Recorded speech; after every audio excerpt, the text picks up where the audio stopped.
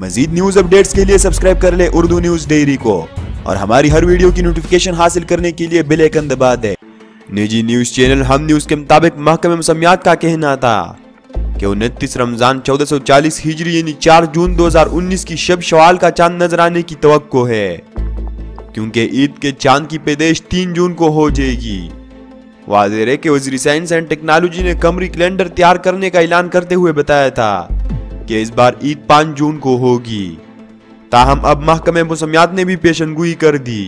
کہ اس سال عید الفطر پانچ جون کو ہوگی